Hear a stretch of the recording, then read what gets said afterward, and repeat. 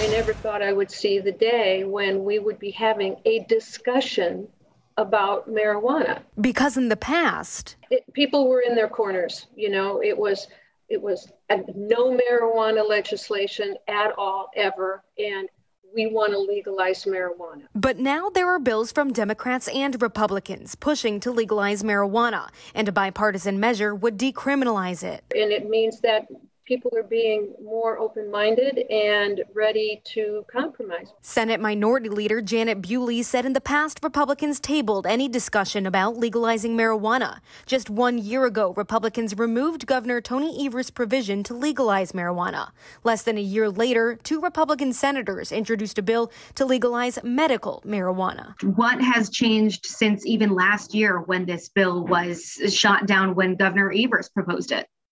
I think it's the fact that people have a fatigue now of arguing. They have a uh-huh. fatigue of having to deal with constant negativity. Although there is marijuana momentum, it likely wouldn't pass this year. Not right now, but not never. Republicans control the state Senate. Majority Leader Devin LeMahieu said in the past he believes legalizing marijuana should come from the federal level, saying this last April. You know, I think there's some societal concerns that you have to consider with that. Well, first of all, we don't have support from the caucus.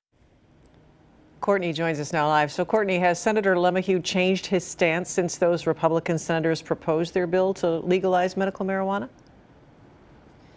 Joyce, I spoke with his spokespeople at his office today. They told me they are unaware if he has changed his perspective, but they would get back to me on that this week after speaking to him, some more on it. Uh, however, Senator Bewley does hope that they reintroduce all three bills when they come back into session.